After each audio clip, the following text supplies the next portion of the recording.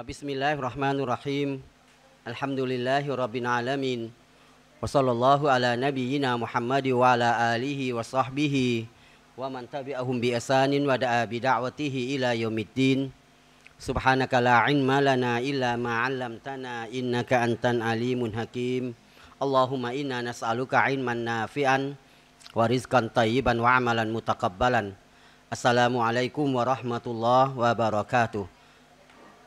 ครับขอความสันติความจำเริญครับยาซักอัลลอฮ์ครับและความเมตตาจากอัลลอฮ์ซุบฮานะฮูวตาลาได้ประสบกับทุกท่านอีกครั้งนะครับอัลฮัมดุลิลละนะครับเป็นประโยคแรกที่เรากล่าวกันเป็นประจำทางนี้ก็เพื่อเป็นการขอบคุณต่อลอฮ์ซุบฮานะฮูวตาลาขอบแล้วก็เป็นการแสดงออกถึงการเป็นบ่าวที่รู้คุณนะครับก็หมายความว่าอะไรก็ตามที่มันเข้ามาในชีวิตของเรา แล้วมันเป็นความโปรดปรานเป็นความเมตตา อย่างเช่นการที่เรายังมีลมหายใจกันอยู่ การที่เรายังมีโอกาสได้ไปไหนมาไหนได้สะดวก และการที่เรายังได้มีโอกาสมาร่วมมารวมตัวกันเพื่อทบทวนในเรื่องราวของอัลอิสลามนั้นถือว่าเป็นเนียมะนะครับเป็นความโปรดปรานที่เราจำเป็นจะต้องขอบคุณต่ออัลเลาะห์ให้มากๆนะครับตามหัวข้อนะครับที่ได้ประชาสัมพันธ์เพราะช่วงนี้เราจะมีการประชาสัมพันธ์ทุกสัปดาห์ผ่านรายการวิทยุด้วยนะครับหัวข้อที่ฝากประชาสัมพันธ์กันไว้ก็คือทำไมต้องมีเตาฮีด ทำไมต้องมีเตาฮีดนะครับเมื่อกี้ฟังเรื่องอัสฮาบุสซับตีไปแล้วใช่ไหมพวกวันเสาร์ใช่ไหมเราอยู่วันอาทิตย์วันนี้ก็ได้ข้อมูลกันไปพอสมควรนะครับทีนี้ในส่วนของเตาฮีดเนี่ยนะครับเตาฮีดเนี่ยเป็นคำภาษาอาหรับ แต่เราจะคุ้นหูนะครับมันก็จะมีคำว่าเตาฮีดมีคำว่าอะกีดะมีคำว่าอีมานไอ้สามสามคำเนี่ยก็จะเป็นคำที่มีความหมายที่ออยู่ในอยู่ในความหมายที่อยู่ในลักษณะเดียวกัน อีมานก็คืออีมานต่ออัลลอฮ์ เตาฮิดแปลว่าการให้เอกภาพ ให้เอกภาพในที่นี้ก็คือการทำให้เป็นหนึ่ง ก็คือการเชื่อและการยอมรับว่าอัลลอฮ์เป็นพระเจ้าแต่เพียงผู้เดียวอ่าแล้วอะกีดะอะกีดะแปลว่าความเชื่อ ความเชื่อก็คือการที่เราเชื่อการที่เรายึดมั่น แล้วก็เชื่อว่าอัลลอฮ์เท่านั้นที่เป็นพระเจ้าเพียงองค์เดียว เพราะฉะนั้นเวลาเด็กๆเขาเรียนหนังสืออะบางเขาบอกเรียนวิชาอะไรวิชาอะกีดะเรียนวิชาอะไรวิชาเตาฮีดเรียนวิชาอะไรวิชาอีมาน ทั้งหมดมันก็อันเดียวกันนั่นแหละ ก็หมายถึงการที่เราจำเป็นจะต้องรู้ว่าใครเป็นพระผู้เป็นเจ้าที่แท้จริง แล้วเราจำเป็นที่จะต้องให้เอกภาพต่อลอสุบฮานะฮูวตาลาแบบไหนอย่างไร เพราะต้องอย่าลืมว่าถ้าเราไม่มีเตาฮีดหรือเราไม่ไม่ไม่ได้ให้เอกภาพต่อลอนั่นหมายความว่างานดีทั้งหลายของเราที่เราเราปฏิบัติลงไป แล้วสังคมก็ให้การยอมรับงานดีเหล่านั้นเนี่ยจะดีขนาดไหนมันก็ยังไม่ได้รับการ ตอบรับจากอัลลอฮฺสุบฮานะฮูวตะอาลาอันเนื่องมาจากมันยังไม่ผ่าน มันยังไม่ผ่านขั้นตอนนะครับทีนี้เตาฮิดสำคัญยังไงนะนั่นคือหัวข้อที่เราได้ตั้งกันเอาไว้ แน่นอนว่าเราก็จะมาหาคำตอบว่า การที่เราจะต้องมีเตาฮีดหรือการที่เราจะต้องยอมรับว่าอัลลอฮ์เป็นพระเจ้าเพียงองค์เดียว หรือการที่เราจะต้องยอมรับว่าอัลลอฮ์คือพระผู้เป็นเจ้าที่แท้จริงเพียงเพียงองค์เดียวเนี่ยมันมีผลดีอย่างไรกับชีวิตของเรา หรือว่าตั้งเป็นคำถามเอาไว้ว่าทำไมอะ ทำไมเราจะต้องให้เอกภาพต่ออัลลอเราก็จะเห็นว่าความเชื่อมากมายที่เขาก็ให้ความยิ่งใหญ่หรือเชื่อในพระเจ้าทั้งหลายสารพัดเลย อย่างบ้านเราก็จะมาในลักษณะที่อะไรล่ะที่เราเคยได้ยินใช่ไหมขออะไรนะสิ่งศักดิ์สิทธิ์ทั้งหลาย แสดงว่าเขาเอาทั้งหมดเขาเอาทั้งหมด แต่ของเราไม่ได้นะของเราจะมาบอกว่าสิ่งศักดิ์สิทธิ์ทั้งหลายและอัลลอฮ์อย่างเงี้ยได้ไหมนี่เราก็ให้อัลลอฮ์แล้วนะได้ไหม ก็ไม่ได้ แปลว่าให้อัลลอฮ์ต้องให้อัลลอฮ์เท่านั้นด้วยฉะนั้นไอ้คำว่าเตาฮีดคือการยอมรับว่าอัลลอฮ์เป็นหนึ่งเดียวนี่ความหมายของมันเลย เตาฮีดเนี่ยแปลว่าการยอมรับว่าอัลลอฮ์เป็นพระเจ้าเพียงองค์เดียว เพราะนั้นเมื่อเรายอมรับว่าอัลลอฮ์เป็นพระเจ้าเพียงองค์เดียว ก็แสดงว่าสิ่งใดก็ตาม กฎเกณฑ์ใดก็ตาม ที่อัลลอฮ์กำหนดเราก็จำเป็นที่จะต้องเชื่อและปฏิบัติตาม เพราะฉะนั้นอันดับแรกต้องเคลียร์ก่อนว่าเรายอมรับอัลลอฮ์ไหม ถ้าไม่ยอมรับอัลลอฮ์คำสั่งต่างๆ ที่ตามมามันจะไม่มีผลอะไรทั้งสิ้น เพราะมันเหมือนว่าเราทำด้วยความไม่สบายใจ เราทำด้วยความลังเล เราทำด้วยความไม่แน่ใจ ถ้าอย่างนั้นไม่มีผลอะไรทั้งสิ้น เพราะนั้นการศรัทธามันจึงต้องเคลียร์ให้จบซะก่อน เพราะฉะนั้นวันนี้เนี่ยนะครับถ้าใครยังไม่ใช่มุสลิมแล้วมาเป็นมุสลิมเขาเคลียร์เคยต้องเคลียร์เรื่องนี้ก่อน ต้องแปลว่าต้องรู้จักก่อน ต้องยอมรับก่อนว่าอัลลอฮ์เป็นพระเจ้าก่อน ต้องยอมรับและเชื่อว่าอัลลอฮ์เท่านั้นที่เป็น ผู้บริหารจัดการเป็นผู้ให้ทุกสิ่งทุกอย่างเพราะนั้นเตาฮีดนะเขาจึงขมวดเอาไว้นะครับเป็นสามเรื่องหลักๆ เราเรียกว่าเตาฮีดอูลูฮียะเตาฮีดรูบูบียะเตาฮิดอันอัสมาวสิฟาตสามอันนี่แหละครับ เวลาเราไปฟังโตครูบรรยายกับสามเรื่องนี้แหละแปลว่าเตาฮิดปุ๊บจะพูดถึงสามอย่างนี้ เตาฮิดอูลูฮิยะคือการยอมรับว่าอัลลอฮ์เป็นพระเจ้า เอาง่าย ๆ เลย ยอมรับว่าอัลลอฮ์เป็นพระเจ้า พระเจ้าแปลว่าอะไรภาษาไทย ผู้สร้าง ถ้าสิ่งใดก็ตามที่ไม่ได้สร้างอะไรเลย แล้วมันถูกสร้างเราไม่เรียกว่าพระเจ้า นี่ภาษาไทยนะอ่าเราคุยกันเรื่องภาษาไทยก่อนนะยังยังไม่ต้องยุ่งกับภาษาอาหรับ เพราะฉะนั้นถ้าใครก็ตามที่กำหนดสิ่งหนึ่งสิ่งใดให้เป็นพระเจ้า แปลว่าสิ่งนั้นต้องเป็นผู้สร้าง ถ้าไม่เป็นผู้สร้างในในความเป็นจริงอะนะในความภาษาไทยแล้วเนี่ยเราก็ไม่เรียกว่าพระเจ้า เพราะพระเจ้าต้องไม่ถูกสร้าง เพราะนั้นในความในในการอีหมานของเราก็เช่นเดียวกัน เราเชื่อว่าอัลลอฮ์เป็นพระเจ้า เพราะฉะนั้นอัลลอฮ์ต้องไม่ถูกสร้าง ถ้าอัลลอฮ์ถูกสร้างเป็นพระเจ้าได้ไหมไม่ได้ไม่ได้ แต่แน่นอนว่าทุกสิ่งทุกอย่างเนี่ยมันต้องมีผู้สร้างเอาแล้วบอกเอาแล้วใครสร้างพระเจ้าเอ้าก็บอกกลับไปหาคำตอบเมื่อกี้ถ้าถูกสร้างเราจะเรียกพระเจ้าไหมก็ม่เรียกว่าพระเจ้า ก็แสดงว่าพระเจ้าต้องไม่ถูกสร้าง เพราะฉะนั้นอัลลอฮ์ กล่าวไว้ในสุรอันอิคลาสของเราอะกุนฮุวัลลอฮุอะฮัดอัลลอฮ์ทรงเป็นหนึ่งเดียวอัลลอฮุซอมัดอัลลอฮ์ทรงเป็นที่พึ่งลัมยาลิดวาลัมยูรัดพระองค์ไม่ได้ให้กำเนิดใครและไม่ถูกกำเนิด แปลว่าอัลลอฮ์ไม่เป็นพ่อใคร และอัลลอฮ์ก็ไม่ได้เป็นลูกใครด้วยเหมือนกัน เพราะฉะนั้นอีกศาสนาหนึ่งใช่ไหมเขาก็บอกว่านบีอีสาเป็นบุตรของพระเจ้า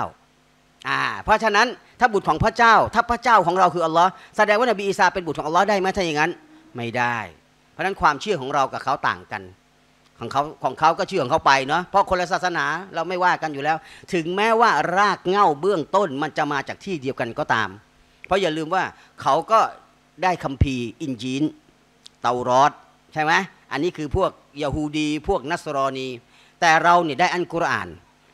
แต่ถ้าหากว่ามันเป็นต้นฉบับเดิมๆเป็นต้นฉบับเดิมๆเลยเนี่ยมันก็จะไม่มีเหตุการณ์แบบนี้ ต้นฉบับเดิมๆก็คือการที่นบีแต่ละท่านก็จะเรียกร้องสู่อัลลอฮ์เหมือนกันหมด แต่เวลามันถูกเปลี่ยนไง เวลาเวลาคัมภีร์มันถูกเปลี่ยน โดยใครอะเปลี่ยน ก็ต้องนักบวชนักพจน์ เพราะอะไรเพราะผลประโยชน์จะได้เข้าตัว อิสลามเป็นศาสนาเดียวที่ไม่ต้องผ่านโต๊ะครูนะไม่ต้องไม่ต้องผ่านนักบวชนักพจน์ ไม่ต้องผ่านอิหมาม แปลว่าอะไรก็ตามที่เราอยากจะปฏิบัติให้เราเนียดว่าทำแล้วหวังผลบุญจากอัลลอฮ์ ไม่ต้องมาไม่ไม่ต้องมาอาจารย์ทำอันนั้นให้หน่อยอาจารย์ทำอันนี้ให้หน่อย หรืออิหม่ามทำนั้นให้หน่อย ไม่เหมือนศาสนาอื่นนะศาสนาอื่นเนี่ยคนธรรมดาทำเองไม่ได้นะ เอาง่าย ๆ เรื่องการตาย เรื่องการตายทำเองได้ไหมศาสนาอื่น ไม่ได้ เพราะมันต้องไปพึ่งคนนั้นพึ่งคนนี้ไปผ่านกระบวนการนั้นผ่านกระบวนการนี้มีบทนั้นบทนี้มีบทสวดอันนั้นอันนี้กว่าจะเสร็จสิ้นกระบวนการ เพราะอะไรอะเพราะเขาแยกกันไงแต่อิสลามเนี่ยถามว่าวันนี้เราไม่ใช่โตครู แต่พอพอเราเรียนรู้เรื่องทางศาสนามาบ้าง เราก็รู้เวลาเวลาตายจัดการสี่อย่างแค่นั้นแหละมีอะไรบ้างนะอ่ามีอะไรบ้างนะสี่อย่างอ่าเอาเราต้องตามตามสเต็ปด้วยนะ ตามขั้นตอนนะสลับไม่ได้นะอ่าอันดับแรกคืออะไรนะอาบน้ำหอก็คือกระฟัน แล้วก็นมาดแล้วก็ฝังสี่อย่าง แค่นั้นอาบน้ำอาบน้ำแล้วก็ไปเปิดดูเอาหรือตัวครูก็สอนสอนเยอะแยะ นะว่ายังไงเอาอาบน้ำพออาบน้ำเสร็จก็หอเราอาจจะไม่ใช่มืออาชีพไม่ใช่ปัญหานะเดี๋ยวว่าบอกว่าเราทำไม่ได้ไม่ใช่เราทำได้หมดนะเดี๋ยวนี้เขาก็มีบางบางมัสยิดบางสถานที่เนี่ยเขาเขาเปิดเป็นคอร์สสอนเลยนะ เพราะอย่าลืมว่าคนที่เหมาะที่สุดกับการอาบน้ำให้กับไมยิดเนี่ยมันควรจะเป็นใครอะมันควรจะเป็นทายาทเขาใช่ไหมเพราะนั้นอะไรล่ะ เพราะทายาทเขาเนี่ยจะได้ อะไรล่ะ จะได้สนิทสนมกัน แล้วก็จะได้รักษาในสิ่งที่มันอาจจะเป็นไอเฟก็คือสิ่งที่ไม่พึงประสงค์ เพราะต้องอย่าลืมว่าถ้าคนอื่นนี่บางทีมันอดไม่ได้ไงไปเห็นนั่นเห็นไอ้นี่ เอาไปนินทาเอาไปอะไรมันก็เป็นไปได้ แต่ถ้าเป็นเครือญาติกันยิ่งเป็นทายาทกันเป็นลูกเป็นหลานกันเนี่ยอ่ามันก็จะปฏิบัติได้ แบบเนี้ยถามว่าเรื่องราวเหล่านี้เนี่ยต้องผ่านโต๊ะครูไหมก็ไม่ต้อง หรือเรามีความผิดเรามีบาป เราต้องไปสารภาพบาปกับโต๊ะครูก่อนไหมกับอิหม่ามก่อนไหมไม่ต้อง ไม่ต้องครับ ไปหาอัลลอฮ์ได้เลย นี่คืออิสลามที่ไม่ต้องผ่านใครทั้งสิ้น เพราะนั้นนี่คือนี่คือศาสนาของลอสุบฮานะฮุวตาลา เพราะนั้นทุกคนเราเท่าเทียมกันหมดเลย จะเป็นโต๊ะครูจะเป็นอิหมาม จะเป็นมะมุมจะเป็นคนทั่วไป แปลว่าเราเท่ากันในความเป็นผู้ศรัทธาต่ออัลลอฮ์เราเท่ากัน เพียงแต่ว่าความรู้เราอาจจะไม่เท่ากัน แต่ในความเท่ากันคืออะไรอัลลอฮ์ให้ผู้ชายเป็นอับดุลลอฮ์ บ่าวของอัลลอฮ์อัลลอฮ์ให้ผู้หญิงเป็นอามาตุลลอฮ์บ่าวของอัลลอฮ์ที่เป็นผู้หญิง เพราะนั้นทั้งผู้ชายและผู้หญิงก็ยังเท่ากันเลยนะ ผู้ชายและผู้หญิงก็ยังเท่ากันในความเป็นผู้ศรัทธา เพราะอัลลอฮ์บอกแล้วว่ามันอามิลาซอลิฮันมินดะการินเอาอุนซาวะฮุวะมุมินุน ใครก็ตามที่ศรัทธาต่ออัลลอฮ์โดยที่ไม่ว่าจะเป็นผู้ชายก็ได้ ผู้หญิงก็ได้ โดยที่เขาเป็นผู้ศรัทธาต่ออัลลอฮ์เนี่ยเท่ากันไหมเท่ากัน นั่นแปลว่าวันนี้เนี่ยเราแข่งขันกันในการทำความดี ผู้ชายมีโอกาสเข้าสวรรค์เพราะอิบาดาได้ ผู้หญิงก็มีโอกาสเข้าสวรรค์เพราะอิบาดาได้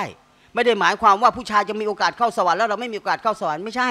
แม้ว่าในบางเวลาเราจะทำอิบาดาได้ไม่เหมือนผู้ชายก็ตามอย่างการนมาดผู้หญิงในยามที่มีประจำเดือนไม่ต้องนมาดไม่ต้องนมาดแต่ถามว่าผลบุญของการของการที่เขาไม่ได้อะไรนะในการมีประจำเดือนของเขาแล้วเขาไม่ได้ละหมาดเนี่ยผลบุญหายไหม ไม่หายนะ ไม่หาย อัลลอฮ์ยังให้มาลายกาบันทึกเสมือนหนึ่งเขาทำอิบาดะเพราะอะไรอะ เพราะเราไม่ได้ทิ้ง เราไม่ได้ทิ้ง เราหยุดเพราะศาสนาอนุมัติ หรืออนุโลมให้เราหยุด เนี่ยเท่ากันนะ เพราะนั้นถ้าผู้ชายทำความดีแล้วก็มีโอกาสเข้าสวรรค์ผู้หญิงทำความดีก็มีโอกาสเข้าสวรรค์นี่คือศาสนาแห่งความเสมอภาค เพราะนั้นอัลลอฮฺสุบฮานะฮุวาตาลาต้องการสิ่งเดียวจากมนุษย์ คือการให้เอกภาพต่อพระองค์ เพราะนั้นมนุษย์คนใดก็ตามเนี่ยนะครับที่ไปสุยูดไปก้มกราบไปเอาสิ่งอื่น ยิ่งใหญ่เทียบเคียงก็ไม่ได้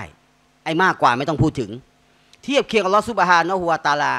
แปลว่ามนุษย์คนนั้นยังไม่มีโอกาสได้รับความสำเร็จ และที่สำคัญจะไม่มีวันได้เข้าสวรรค์ของอัลลอฮฺสุบฮานะฮุวตาลา เพราะเรายืนยันมาโดยตลอดนะครับว่า สวรรค์เป็นของอัลลอฮ์สวรรค์เป็นของอัลลอฮ์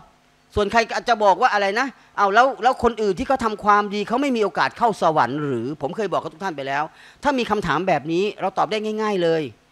ฉันไม่รู้ ไม่ได้เกี่ยวกับเราไง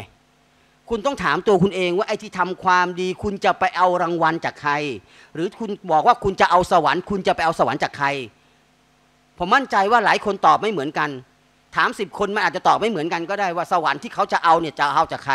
แต่ถ้าอย่างเราเนี่ยไม่งง ถามตั้งแต่เด็ก ๆ เล็ก ๆ จนกระทั่งวันนี้เป็นผู้ใหญ่กันแล้วเนี่ย ไม่มีใครงงคำตอบเหมือนกันหมด หนูหนูละหมาดหนูทำความดีกับพ่อแม่เนี่ยหนูจะไปเอารางวัลอาจจะไปเอาสวรรค์จากใครอะลูก จากอัลลอฮ์เขาตอบได้ไม่ลังเล วันนี้มาถามผู้ใหญ่เลย จะไปเอาสวรรค์จากใครลังเลไหมยิ่งไม่ลังเลใหญ่เลยมันน่าจะถามคนวัยไหนก็แล้ว แต่ถ้าเป็นผู้ศรัทธาต่ออัลลอฮ์เรารู้ว่าสวรรค์เป็นของอัลลอฮ์เมื่อสวรรค์เป็นของอัลลอฮ์เราจึงทำความดีทุกอย่างเพื่อหวังสวรรค์จากอัลลอฮ์ นี่คือคำตอบของเรา ซึ่งไม่ไม่เขาเรียกไม่มีการการลังเล แต่สำหรับคนที่ไม่ใช่มุสลิมเขาอาจจะลังเลอะเนาะเพราะแต่ละคนก็อาจจะไม่เหมือนกัน กูไม่รู้ว่าจะได้สวรรค์จากใครรู้อย่างเดียวว่าทำแล้วสบายใจก็ว่ากันไปเนาะถึงบอกเรากุ้มดีหนูกุ้มวาริยาดีศาสนาใครศาสนามาแต่เราต้องไม่ลังเลนะไอ้เขาลังเลในเรื่องของเขาเราต้องไม่ลังเลบอกเออฉันก็ไม่รู้เหมือนกันเพราะฟังเขามากๆเขาฉันก็ไม่แน่ใจว่าไอ้ตกลงที่ฉันทำเนี่ยจะเอารางวัลจากใครอ่าถ้าอย่างนั้นเข้ากะลิมาใหม่ เออ ตั้งหลักใหม่ เพราะเราอะไรเราเริ่มงงกับชีวิตแล้ว เราเพราะถ้าไม่รู้ว่าจะไปเอารางวัลจากใครเนี่ย แปลว่าอะไรอะ แปลว่าอิมานเราเสียไง ใช่ไหมอิมานเราเสียแล้ว ถ้าอย่างนั้นเอาอัชฮะดุอัลลากันใหม่นะเข้าเข้ากริมากันใหม่นะเพราะอะไรเพราะเรากำลังกำลังสับสนแล้วนะครับ เพราะนั้นเคลียร์เรื่องนี้ก่อนว่าอัลลอฮ์คือพระเจ้า พระเจ้าแปลว่าผู้สร้าง เพราะนั้นผู้สร้างต้องไม่ถูกสร้าง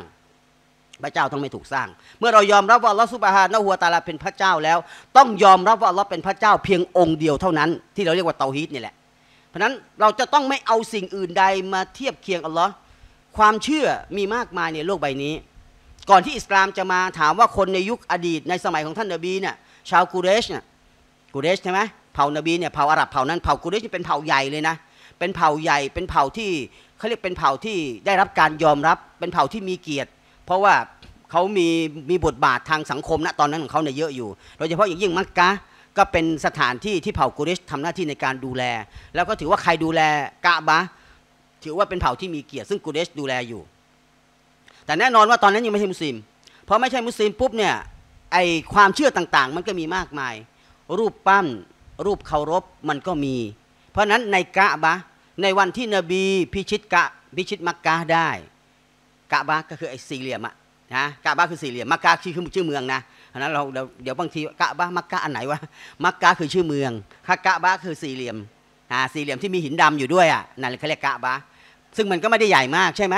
ไม่ได้ใหญ่มาก แต่ในวันที่นบีพิชิตมักกะได้หรือแล้วก็เข้าไปในกะบะมีทั้งหมด 360 รูป ก็คือรูปปั้นมีอยู่สามร้อยหกสิบรูปอ้าวทำไมมีเยอะเหลือเกินนะแสดงว่าอะไรโอ้แสดงว่าเยอะนะ แสดงว่าพระเจ้าเขานี่เยอะมาก นี่นี่เฉพาะอยู่ในกะบ้านนะและไอ้ที่นอกกะบ้าอีกะโอ้เพียบเลย เพราะนั้นพอนบีเข้าไปนบีก็เลยเคลียร์สิ่งต่าง ๆ เหล่านี้ทั้งหมดแล้วนบีก็บอกว่า เมื่อความจริงมาเป็นอายันกุรอานที่อัลลอฮ์บอกกุญจาอันฮักกูวะซาฮกอนบาติล อินนันบาติลกานาซาฮูกอเมื่อสัจธรรมมาสิ่งที่เป็นโมฆะทั้งหลายต้องมาลายหายไป ต้องมาลายหายไป แปลว่าอิสลามมาแล้ว อิสลามเป็นศาสนาที่ให้นบีมุฮัมมัดมาประกาศ เพื่อเรียกร้องผู้คนสู่การให้เอกภาพต่ออัลลอฮ์เพียงองค์เดียว เพราะฉะนั้นในอันกุรอานอัลลอฮ์เปรียบเทียบว่าอิสลามก็คืออะไรนะอิสลามก็คือรัศมีหรือทางนำเพียงหนึ่งเดียว นบีถูกส่งมาเพื่อเอาคนออกจากความเชื่อ ก็คือออกจากความมืดทั้งหลาย แปลว่าไอ้ความหลงผิดไม่ได้มีแค่อันเดียว แต่ไปสู่แสงสว่างแค่หนึ่งเดียว ก็คืออัลลอฮ์สุบฮานะฮูวาตาลา นั่นคือพระเจ้า เพราะนั้นพระเจ้าแปลว่าผู้สร้าง เพราะนั้นหลักง่ายๆ เลยทุกสิ่งทุกอย่างที่อยู่ในโลกดุนยาใบนี้ ไม่มีอะไรที่เกิดขึ้นเองโดยธรรมชาติ อันนั้นเป็นคำพูดมนุษย์ เพราะนั้นเอาอาคารเนี้ยเราก็ต้องมั่นใจว่ามีช่างที่จะสร้างขึ้นมาใช่ไหมเราเคยเห็นหน้าตาช่างไหมว่าช่างคนนั้นคือใคร ไม่รู้หรอก รถยนต์ที่เรานั่งกันมาขี่กันมาเนี่ยแมงกะไซที่เราขี่กันมาเนี่ยนะมันต้องมีผู้สร้างใช่ไหม เราเคยเห็นคนสร้างไหมจริงอยู่เราบอกมันมาจากโรงงานนั่นโรงงานนี้เคยเห็นไหมล่ะโรงงานนั้นก็จริงมันต้องมีคนใช่ไหมล่ะเลยเคยเห็นคนไหมหรือเอาถ้าเป็นยิ่งเป็นเมื่อก่อนเนี่ยเรายังไม่มีเทคโนโลยีในเรื่องของของทีวีเรื่องของดาวเทียมอะไรพวกเนี้ยรถที่เขาส่งมาขายบ้านเราเนี่ยส่วนใหญ่มาจากประเทศอะไร ญี่ปุ่น ใครเคยไปญี่ปุ่นบ้าง ไม่เคยไป ยิ่งถ้าเป็นเมื่อก่อนเราไม่มีโอกาสจินตนาการได้เลยว่าญี่ปุ่นเป็นยังไง แต่เราสามารถรู้จักญี่ปุ่นได้ เพราะอะไรทำไมรู้จักญี่ปุ่นน่ะ เพราะมันมีรถให้เราเห็นใช่ไหมมีมีมีมีมียี่ห้อยามาฮ่าซูซูกิมีอ่าโอสารพัดยี่ห้อเลย ซึ่งเรารู้ทั้งหมดเนี่ยของญี่ปุ่น แต่เราไม่เคยไปญี่ปุ่นเลย เอาทำไมเชื่อว่าญี่ปุ่นมีอะไม่เคยเห็นด้วย เพราะยิ่งเอามาก่อนนะ เพราะเดี๋ยวนี้มันมีภาพข่าวมีอะไรให้เราได้เห็น ถ้าเป็นเมื่อก่อนเพราะรถนี่มันไม่ใช่เพิ่งเข้ามา มันเข้ามาเป็นร้อยร้อยปีแล้วใช่ไหมใช่ไหมทำไมเราเชื่อว่าประเทศญี่ปุ่นมีอะ เพราะมันมีผลงานให้เห็นไง เหมือนกัน อันนี้กำลังเปรียบเทียบให้ทุกท่านฟังว่า การที่เราเชื่อว่าพระเจ้ามีจริง เพราะอะไรเพราะผลงานที่พระเจ้าสร้างเอาไว้เนี่ยไม่มีมนุษย์หน้าไหนมันกล้าบอกว่ามันสร้าง เอาดวงอาทิตย์ มีใครบอกไหมฉันสร้าง ให้ประเทศที่มันเจริญเจริญที่สุดด้วย มันกล้าบอกไหมว่ามันเป็นผู้สร้างดวงอาทิตย์มีไหม ไม่มี แต่พยายามจะสร้างดาวเทียมอ้าวสร้างดาวเทียมก็สร้างไปแล้วดาวเทียมเนี่ยมันอยู่ได้ตลอดกาลไหมล่ะ ก็ไม่ได้อยู่ได้ไม่กี่ปีเดี๋ยวก็ตกมาจะใส่หัวชาวบ้านเขาต้องคอยลุ้นกันอยู่นะเมื่อก่อนก็เมื่อก่อนสมัยทุกท่านเป็นเด็กน่าจะมีเคยได้ยินคำว่าสกายแลบอะอ่าสกายแลบอะตอนครูทำผมจำได้ครูแอร์บรรยายครูแอร์ก็ยังบอกเราเวลาขอดูอาเนี่ยขอให้พ้นจากสกายแลบด้วยนะเพราะว่าเดี๋ยวไม่แน่เดี๋ยวมันอาจจะลงมาเมื่อไหร่ก็ไม่รู้ใช่ป่ะเห็นไหมอันนั้นคือที่มนุษย์สร้าง แต่ที่อัลลอฮ์สร้างเนี่ยเห็นไหม ดวงอาทิตย์ที่สร้างมาตั้งแต่วันที่เริ่มต้นจนกระทั่งทุกวันเนี่ยมันยังมันยังส่องแสงอยู่ใช่ไหมเออ มันเอาพลังงานจากไหนอะ เห็นไหมมันทำให้เราต้องคิดว่าเนี่ยมันจะต้องมีผู้ที่มีอำนาจอันยิ่งใหญ่ในการที่จะให้ให้มันเป็นไปแบบนี้ เพราะฉะนั้นแปลว่าทุกสิ่งทุกอย่างไม่ได้เกิดขึ้นเองโดยธรรมชาติ แต่มันเกิดเพราะมีผู้สร้าง และผู้สร้างนั่นก็คือพระผู้เป็นเจ้า ง่าย ๆ มีแค่นั้นแหละครับจริงอยู่เราบอกว่าบ้านเนี่ยคนสร้างรถเนี่ยคนสร้าง พอไปถึงทะเล ธรรมชาติสร้างทำไมอะมาฉลาดมาตลอดเลย พอไปถึงทะเลปั๊บธรรมชาติสร้างทำไมกลายเป็นคนตตรงกันข้ามแล้วกัน หรือไปไปไปอะไรนะ ไปดูภูเขาแม่น้ำแล้วก็บอกธรรมชาติสร้าง เอ้า ไอ้รถที่แกนั่งมาแกยังบอกเลยว่ามีคนสร้าง แต่วันนี้ก็พอแกไม่เห็นภูเขาไม่เห็นน้ำตกแกบอกธรรมชาติสร้างทำไมมันง่ายไปใช่ไหมก็แสดงว่าอะไร แสดงว่าการที่เราจะเข้าใจ ในการมีอยู่จริงของพระผู้เป็นเจ้าได้ นั่นแปลว่าเราต้องมีอิมานมีความเชื่อ ซึ่งแน่นอนนี่คือเรื่องของฮิดายะฮิดายะเป็นกรรมสิทธิ์ของอัลลอฮ์ไม่มีใครสามารถในการที่จะให้ฮิดายะกับใครได้ เอาแล้วง่าย ๆ ลูกลูกหลานนบีเครือญาตินบีภรรยานบีมีมีบางคนก็ไม่ได้ศรัทธาใช่ไหมเออถ้านบีสามารถทำให้คนศรัทธาได้ นบีคนไม่ปล่อยผ่านคนเหล่านี้ เอานบีมุฮัมมัดก็ได้ อยากให้ลุงเป็นมุสลิม บอกให้ลุงกล่าวกาลิมะลุงกล่าวไหมไม่กล่าว พอไม่กล่าวก็แปลว่าลุงเสียชีวิตในสภาพของผู้ปฏิเสธซึ่งแน่นอนถ้าเสียชีวิตในสภาพผู้ปฏิเสธ บทลงโทษก็คืออะไรอะก็ต้องนรกแหละ นบีจะเสียใจไหมเสียใจอย่างมาก เพราะนี่คือลุงที่คอยปกป้องมาโดยตลอด แต่อันกุรอานมาสำทับเตือนนบี และเป็นบรรทัดฐานให้พวกเราว่า อินนักลาตะดีมันอะบับตะวลากินนัลลอฮยะดีมายะชะเจ้าไม่สามารถนำทางคนที่เจ้ารักได้ หากแต่อัลลอฮ์เท่านั้นที่จะนำทางผู้ที่พระองค์ทรงประสงค์ แปลว่าอำนาจในการนำทางสิทธิในการให้ฮิดายะเป็นของอัลลอฮ์แต่เรายังต้องทำไม แนะนำกันอยู่ตักเตือนกันอยู่ ก็หวังว่าสักวันหนึ่งเขาจะเป็นผู้ศรัทธาเหมือนกับเรา ก็แค่นั้นนะครับ เพราะนั้นเตาฮิดคือการให้เอกภาพต่อลลอวันนี้เราผ่านแล้วอันฮัมดุลิลละในเบื้องต้นทุกท่านผ่านเพราะเราเป็นผู้ศรัทธาต่อลลอทีนี้ต่อมาก็คือว่าเราต้องเข้าใจว่าทำไมต้องมีเตาฮิดอะเพราะอย่าลืมว่าทุกสิ่งทุกอย่างที่ถูกสร้างขึ้นมาเนี่ยอัลลอฮ์ไม่ได้สร้างมาโดย โดยไร้จุดมุ่งหมาย แม้กระทั่งตัวเราก็เหมือนกันอัลลอฮ์สร้างเรามาทำไม แปลว่าอัลลอฮ์สร้างเรามา เพราะอัลลอฮ์มีเขาเรียกการที่เราจะต้องมีเตาฮิดเพราะเตาฮิดบ่งบอกถึงการสร้างของอัลลอฮ์อัลลอฮ์สร้างมนุษย์ อัลลอฮ์บอกว่า وما خلقت الجن والإنس إلا ليعبدون ฉันไม่ได้สร้างยินและมนุษย์ขึ้นมาในโลกดุนยาใบนี้ ด้วยจุดประสงค์อื่นใด เว้นแต่ให้ทั้งยินและมนุษย์นั้นทำการอิบาดะต่อฉันเพราะนั้นอิบาดะต่ออัลลอฮ์ก็คือการให้ให้ให้อะไรให้เอกภาพต่ออัลลอฮ์หรือเตาฮิดต่ออัลลอฮ์ซุบฮานะฮูวะตาลานั่นเองเพราะนั้นการอิบาดะต่ออัลลอฮ์ซุบฮานะฮูวะตาลา จึงเป็นการสะท้อนให้เห็นว่าเรามีเตาฮิดต่อพระองค์ เราไม่กล่าวไหว้สิ่งอื่น เราไม่งงกับชีวิต เพราะอะไรเพราะเราเคลียร์เรียบร้อยแล้วว่าอัลลอฮ์เป็นพระเจ้า ไม่มีใครให้รางวัลให้การตอบแทนอะไรกับเราได้ นอกจากอัลลอฮ์เท่านั้น เพราะนั้นเวลาเรายึดว่าอัลลอฮ์เป็นพระเจ้าต้องให้ได้ร้อยเปอร์เซ็นต์เต็ม อย่าเอาสิ่งอื่นมาเทียบเคียง ด้วยเหตุนี้เนี่ยเราจึงต้องพยายามอยู่กับเรื่องราวของศาสนาเยอะๆเพราะต้องอย่าลืมว่าเรามีโอกาสที่จะหลุดได้ออกนอกลูกนอกทางได้ เพราะบางทีเนี่ยมันโดนสังคมมันดึงไปอย่างเช่น เรื่องของการอ่าทำนายทายทัก ซึ่งพอเราอยู่กับสังคมที่ไม่ใช่มุสลิม เขามีเรื่องแบบนี้อยู่ แล้วเขามองเป็นเรื่องปกติ แล้วบางคนอินด้วยซ้ำพอเขาอินมากๆเข้า เราอยู่กับเขาเราก็เลยอินไปด้วย วันนั้นดีวันนี้ไม่ดี วันนู้นดี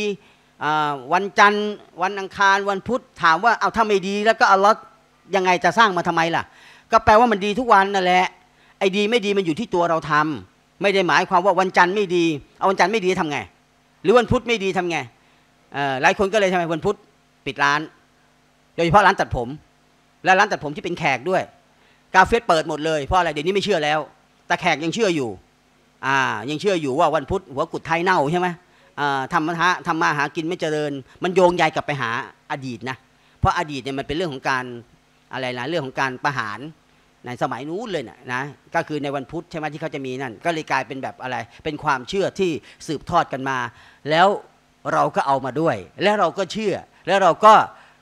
ทำไมนะ มั่นคงมากกว่าเขาซะอีกอ่าใช่ไหมเขาเนี่ยไม่เชื่อกันแล้วนะเพราะเดี๋ยวนี้เนี่ยไปดูได้เนี่ยที่ไม่ใช่มุสลิมเนี่ยเขาไม่ใช่ไม่เชื่ออะไรแล้วนะเขาไม่เชื่อแม้กระทั่งไม่เชื่อศาสนาเขาเองด้วยซ้ำถูกป่ะเพราะหลายคนเนี่ยลองดูซิว่าเขาเข่งขัดกับศาสนาเขาแค่ไหน ไม่มีหรอกครับ ไม่มี เพราะถ้าเข่งขัดกับศาสนาเขาก็ทำอะไรไม่ได้เลย ดื่มเหล้าได้ไหมอะทำซินาได้ไหมอะ การพนันได้ไหมอะ แต่ว่าไอ้ที่กล่าวมามีไหมอะมีทุกอย่างเห็นไหมมีทุกอย่างมีทุกอย่างเพราะฉะนั้นเขาจึงนั้นไม่ได้นะแต่ว่าเราเนี่ยเราพอยึดมั่นกับหลักการของอัลลอฮ์เนี่ยเราจะมาบอกว่าอันนี้ไม่เอาอันนี้ไม่เอาอันนี้ไม่เอาไม่ได้ ถ้าอย่างนั้นก็แสดงว่าเราไม่ได้ให้เอกภาพต่ออัลลอฮ์เพราะต้องอย่าลืมว่าท้ายที่สุดแล้วเราต้องกลับไปพบกับอัลลอฮ์แล้วอัลลอฮ์จะสอบสวนอัลลอฮ์จะสอบสวนว่าในความเป็นผู้ศรัทธาของเราเนี่ยมันเป็นผู้ศรัทธาแค่ไหน เป็นผู้ศรัทธาวันแรกที่ปฏิญาณตนและที่เหลือกว่าจะตายไม่ใช่เลย กินก็ไม่เคยเลือก พูดจาก็ไม่ได้อิงกับอัลลอฮ์เลย บางทีพูดจาเนี่ยทำไปทำมาเนี่ยหลุดออกไปโดยปริยายก็มี เพราะบางคนอย่าลืมนะคำพูดเราเนี่ยมันก็ทำให้เราออกตกศาสนาได้นะ เพราะอย่าลืมบางทีเนี่ยเราเราเขาเรียกอะไรเราพูดพูดอะไรพูดเหมือนกับที่เขาพูดอะ่ะเป็นความเชื่ออย่างนั้นอย่างนี้ก็แล้วแต่ หรือแม้กระทั่งบางประโยคที่นบีห้าม เช่น ถ้ามันไม่ทำแบบนี้ก็คงไม่เป็นแบบนี้ ถ้าไม่ไปก็คงไม่ตาย พูดได้ไหม นบีห้ามนะเพราะไอ้พูดอย่างนี้แปลว่าเรากำลังอะไรกำลังฝืนกับกอดอกอดัดของอัลลอฮ์เรากำลังไม่อีหมานข้อที่ 6 ของเราไงอีหมานมี 6 ประการน่ะนะอันนั้นผมไม่ถามแล้วอันนี้สรุปให้เลยอ่าจะได้ไม่ต้องนึกนานอีหมานมีหกข้อข้อที่ 6 ก็คือการกำหนดสภาวะทั้งดีและไม่ดี ว่ามันมาจากการกำหนดของลอฮ์ซุบฮานะฮูวตาลา ซึ่งเราไม่มีสิทธิ์ฝืนเลย ไม่ได้หมายความว่าถ้ามันไม่ไปที่นั่นแล้วมันจะไม่ตาย เพราะบางคนเนี่ยทำไมเราพูดออกมาโดยบางทีเราลืมไง เราลืมว่าเนี่ยนะเราก็เตือนมันแล้วว่าอย่าไปพอไปแล้วก็ตายเห็นไหมไปก็ประสบอุบัติเหตุเนี่ยเป็นอ่านู่นนี่นั่นถามมันใช่ไหมไม่ใช่ เราไม่ได้มีอำนาจทำให้เขาตายนะ ไม่ได้มีอำนาจให้เขาตาย เพราะถ้าอายันของเขามาถึงอยู่ตรงไหนมันก็ตาย ใช่ไหมแล้วก็ไลยูอัคิรอลลอฮุนับซันอิดาจาอาจาอาจาลุฮาอัลลอฮ์บอกอัลลอฮ์ไม่ประวิงเวลาให้ใครทั้งสิ้นถ้าอายันมาถึง ให้มันไปอยู่ไหนๆก็แล้วแต่ว่าเรากุนตุมฟีบูรูยิมมูชัยยะดะ แม้ว่าเขาจะไปอยู่ในอะไร ในหอคอยอยู่ในตึกที่มันมีการอารักขาอย่างแน่นหนาเมื่อความตายมาถึงยังไงมันก็ตาย อยู่ดีๆ บางทีก็ทำไมพี่เกียนหายใจไปดื้อๆอย่างเงี้ยเอาไหมอ้าวก็ตาย ก็แปลว่ามันเป็นไปได้ทั้งหมด มันเป็นไปได้ทั้งหมด นั่นหมายความว่าทุกสิ่งทุกอย่างมันขึ้นอยู่กับการกำหนดของอัลลอฮ์ไม่ได้ขึ้นอยู่กับปากเรา ไม่ได้ขึ้นอยู่กับปากเราหรือแม้กระทั่งคนแช่งเราก็เหมือนกัน ถ้าแช่งเราแล้วเราไม่ได้เป็นไปตามนั้น ยังไงมันก็ไม่มีผลอะไรกับเรา ไม่มีผลอะไรกับเรา เพราะอะไรเพราะทุกอย่างเป็นไปตามการกำหนดของลอสุบฮานะฮูวตาลา เราต้องเชื่อแบบนั้นนะครับและอีกอย่างก็คือว่าอัลลอฮ์สุบฮานะฮูวตาลาสร้างพวกเราทุกคนขึ้นมาเนี่ยฐานเดิมเลย ฐานเดิมเลยทุกคนเนี่ยคือบ่าวที่เขาเรียกเป็นบ่าวที่ยังปฏิเอ่อยังยังไม่ปฏิเสธต่ออัลลอฮ์นะหมายถึงว่าเป็นบ่าวที่ศรัทธาต่ออัลลอฮ์ตั้งแต่เกิดเลยอะตั้งแต่เกิดเลย เพราะอะไรเพราะว่าธรรมชาติเดิมๆของมนุษย์คือธรรมชาติที่บริสุทธิ์ เขาที่เปรียบเทียบว่าเด็กเกิดใหม่เหมือนผ้าขาวใช่ไหมพ่อแม่แต่งอะไรนะแต้มสีอะไรให้มันก็เป็นสีนั้นแหละ ด้วยเหตุนี้ท่านนบีจึงบอกว่ามนุษย์ทุกคนเนี่ยกุลูมาลูดินยูและดูอาลันฟิตรอเด็กๆทุกคนเขาจะเกิดมาบนธรรมชาติที่บริสุทธิ์فأبواه พ่อแม่ของเขาแหละคือตัวแปรสำคัญ يهودانه أو ينصرانه ที่จะทำให้เขาเป็นแบบไหนก็ได้ เป็นยาฮูดี เป็นนัสรอนี เป็นมายูซี เป็นผู้ปฏิเสธ เป็นผู้ศรัทธาได้หมดเลย ใครอะ พ่อแม่ของเขา เป็นบทแปลแปลว่าเกิดมาเบื้องต้นเนี่ย เกิดมาเบื้องต้นเนี่ยก็คือบ่าวของอัลลอฮ์ที่บริสุทธิ์เหมือนกันหมด เขาจึงเอาเกณฑ์ในเรื่องของعاقل بالغ มาเป็นกติกาไง ถ้าสมมุติว่าตายก่อนเสียชีวิต เด็กเหล่านี้เนี่ย เด็กที่ไม่ใช่ผู้ศรัทธานะ ไม่ต้องลงนรก อ่าไม่ต้องลงนรกเพราะอะไร เพราะเอาเกณฑ์ของการอาเกนบาเล็กมาเป็นเกณฑ์ แต่สำหรับคนที่เป็นผู้ศรัทธาเนี่ยเราได้ความพิเศษหลายอย่างเลยทีเดียว เพราะฉะนั้นถึงบอกว่าในเบื้องต้นที่อัลลอฮ์สร้างมนุษย์ขึ้นมา นี่คือธรรมชาติที่มาแต่เดิมเลยที่ยอมรับว่าอัลลอฮ์เป็นพระเจ้า แต่แน่นอนว่าเมื่อเมื่อเมื่อมาอยู่ในสังคมมันก็มีเรื่องของความเชื่อเรื่องของการเลี้ยงดูเข้ามาเกี่ยวข้อง เพราะนั้นอัลลอฮ์ซุบฮานะฮูวะตาลาบอกแล้วว่ามนุษย์ทุกคนเกิดมาบนธรรมชาติที่บริสุทธิ์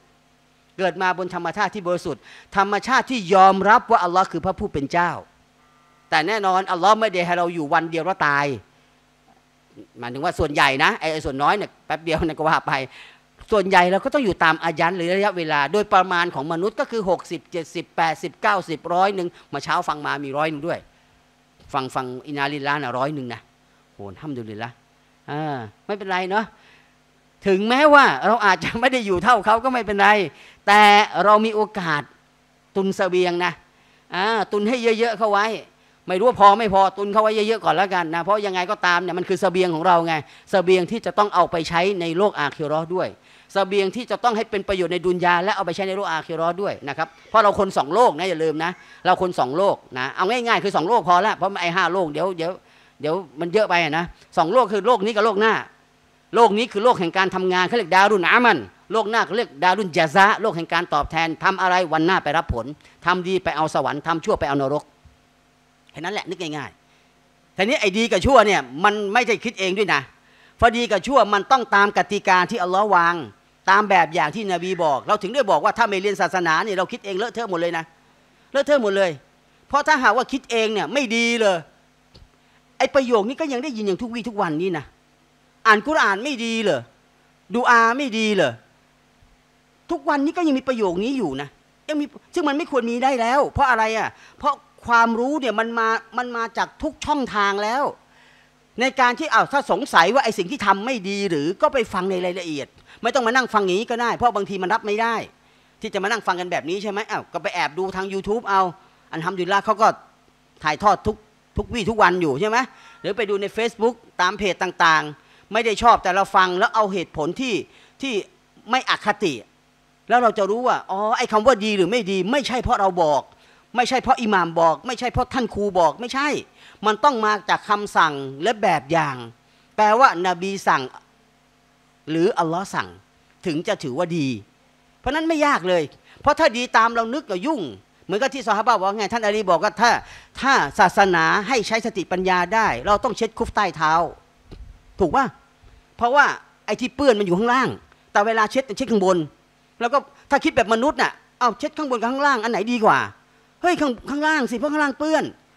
แต่เวลาเช็ดคุฟเราเช็ดตรงไหน ที่เราเรียนกันมา ให้เช็ดข้างบน เอาทำไมไม่เช็ดข้างล่างล่ะไอ้ที่เปื้อนในข้างล่างนะเห็นไหมบอกแล้วศาสนาเอาสติปัญญาคิดทุกเรื่องไม่ได้ เพราะอะไรเพราะศาสนาเป็นของใคร ของอัลลอฮ์ศาสนาเป็นของอัลลอฮ์เพราะนั้นไม่ต้องคิดเอง ไม่ใช่ศาสนาคิดนะคิดนู่นคิดนี่ไปเลอะเทอะไม่เอาเพราะนั้นไอ้ประโยคที่บอกว่าไม่ดีเลยเนี่ย อย่าอย่าอย่าตั้งคำถามแบบนี้ ถ้าเราเรียนหนังสือเยอะๆ เราทำความเข้าใจเรื่องราวของศาสนาเยอะๆ มันจะไม่มีคำถามแบบนี้ เพราะอิสลามเป็นศาสนาที่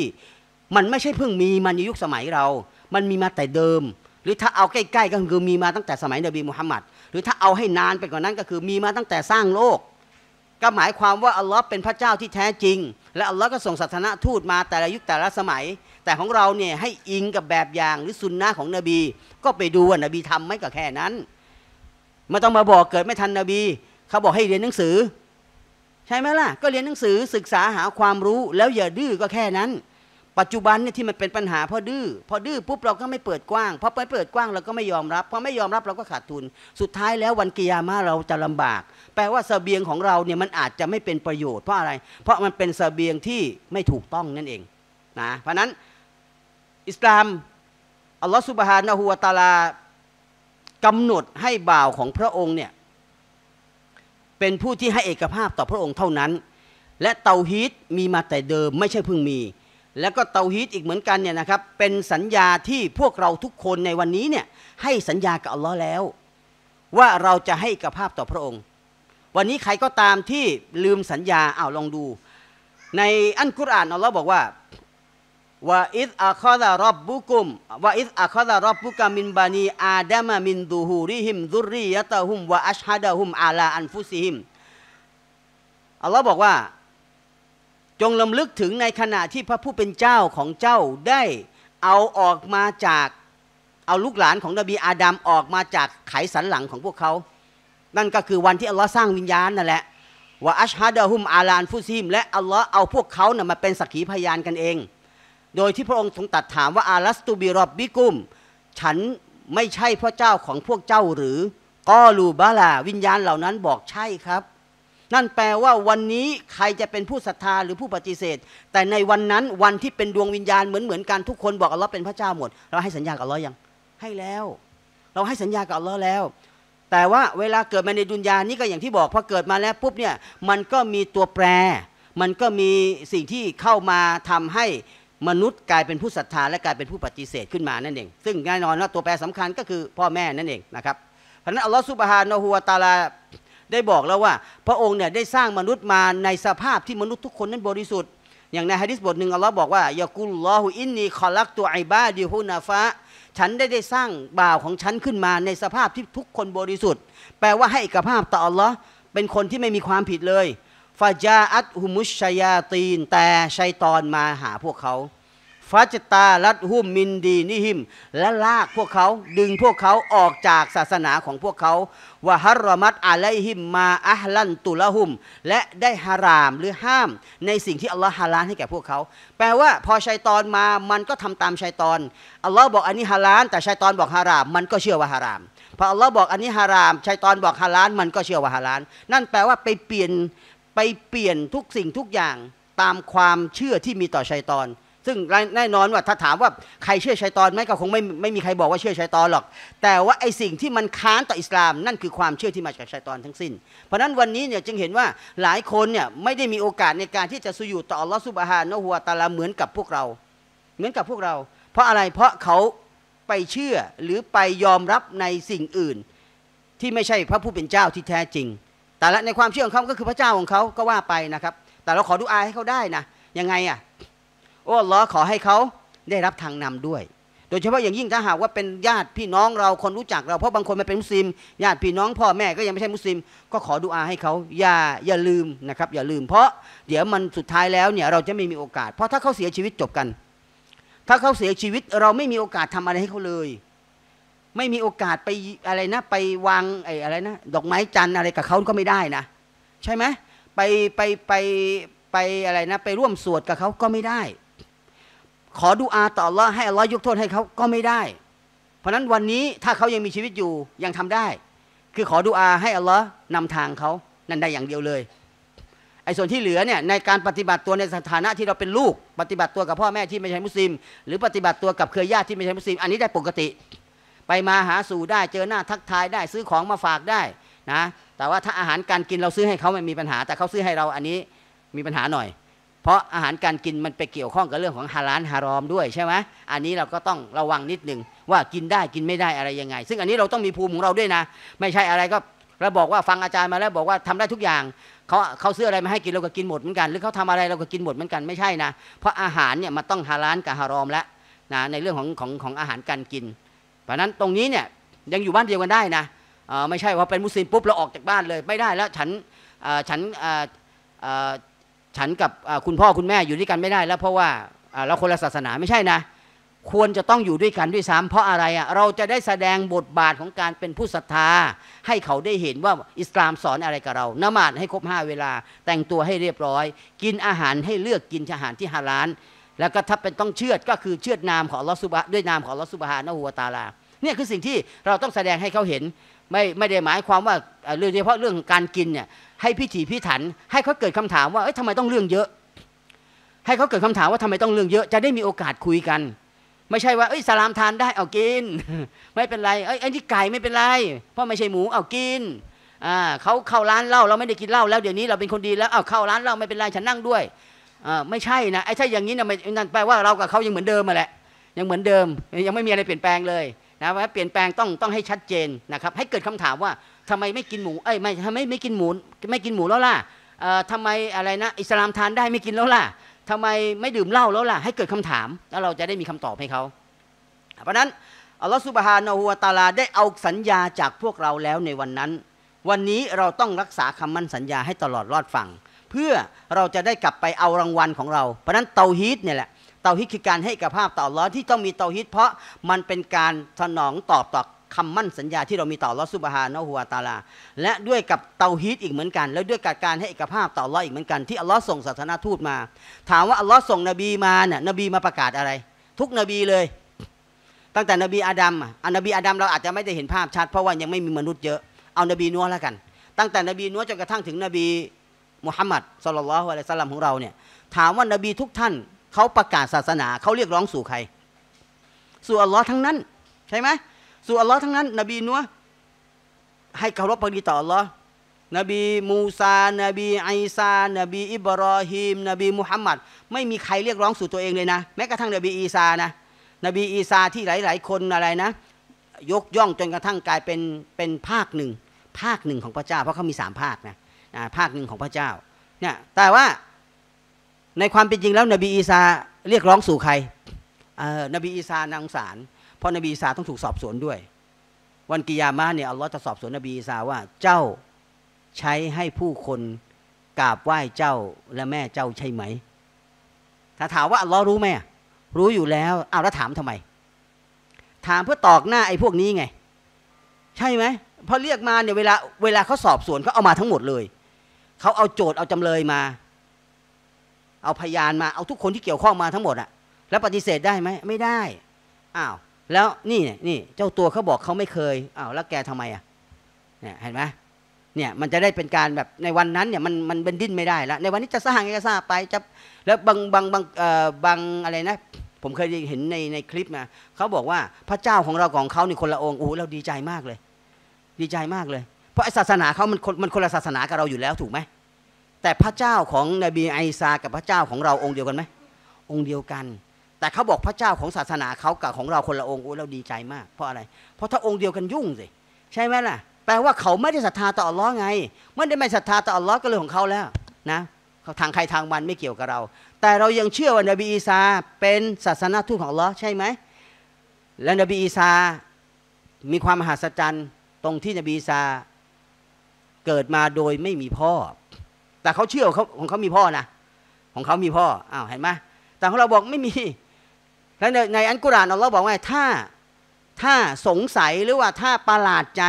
กับการที่ไอซาไม่มีพ่อ นี่ประหลาดใจแล้วใช่ไหมไปดูอาดัมนู่น มีพ่อไหมมนุษย์คนแรกอะ่ะมีแม่ไหม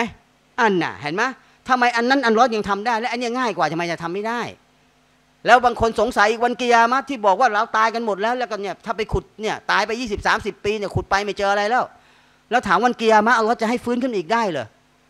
อัลลอฮ์บอกว่าในวันที่ไม่มีพวกแก แล้วอัลลอฮ์สร้างขึ้นมา และในวันที่พวกแกไม่มีแล้วอัลลอฮ์จะให้มีอีก อันไหนง่ายกว่า อันหลังง่ายกว่าอันแรกอีกใช่ไหมอันแรกเนี่ยคือไม่มีแล้วสร้างให้มี แต่อันหลังเนี่ยเคยมีมาแล้ว แล้วถึงแม้ว่าจะหมดไปสร้างอีกได้ไหมได้ง่ายกว่าอีก เพราะฉะนั้น นี่คืออะไรเดชานุภาพของอัลลอฮ์นี่คืออำนาจของอัลลอฮ์เมื่อเรายอมรับว่าอัลลอฮ์เป็นพระผู้เป็นเจ้า เราจึงต้องพยายามยืนตรงหยุดของเราให้ชัดเจนนะครับอัลลอฮ์ส่งศาสนาทูตมา ไปดูได้ทุกท่านทำหน้าที่เหมือนกันหมดว่ามาอัลสันนามิงกับลิกามินรอซูลินอิลลานูฮีอิไลอันนะฮุลาอิลาฮะอิลลาอานาฟะบูดูนี่ ในสุรอันอันบิยะอันยะที่ยี่ห้าเนี่ยนะครับอัลลอฮ์บอกว่า และไม่ว่าศาสนาทูตคนใดก็ตามที่เราได้ส่งมาก่อนหน้าเจ้า ก่อนหน้าเจ้าเจ้านี่ใคร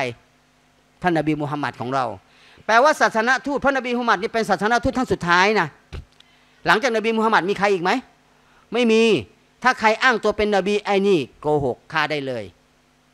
ฆ่าได้เลยมีมุไซลามะอัตกัซาบไงอ้างตัวเป็นนบี ก็เสร็จโดนโดนโดนโดนโดนโดนจัดการซะเพราะอะไรเพราะนบีบอกแล้วว่าฉันเป็นนบีท่านสุดท้าย ไม่มีใครหลังจากฉันอีกแล้ว เพราะเหตุนี้ไงเวลาใครก็ตามที่เขาเรียกที่ซ่ากับอัลลอฮ์อัลลอฮ์จึงยังไม่ได้เก็บแบบในอดีตอันนบีนัวประชาชาตินบีนัวอ่าคนที่ศรัทธาเอาขึ้นเรือ ไอไอคนที่อยู่ข้างล่างเป็นไง ไม่ขึ้นใช่ไหมน้ำมาตายหมดแม้กระทั่งลูกนบีนัวใช่ไหม